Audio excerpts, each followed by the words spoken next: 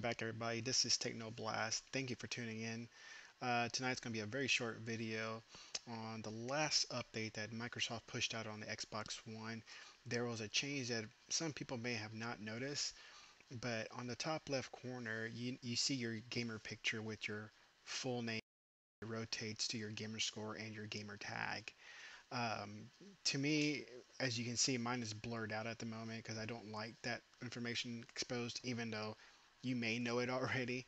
Um, but still, it's just it's just something that I just rather have blurred out than have it exposed. Anyways, um, the new update um, shows your email address now, so you can turn that off if you like. And let me show you how to do that. So if you go down to your settings,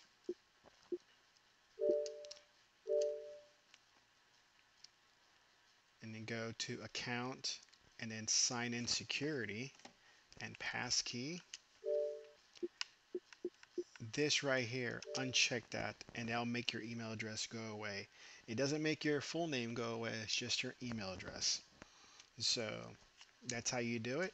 Uh, if this video helped you out good. Uh, please give give the video a like and subscribe if you enjoyed my videos. Have a good night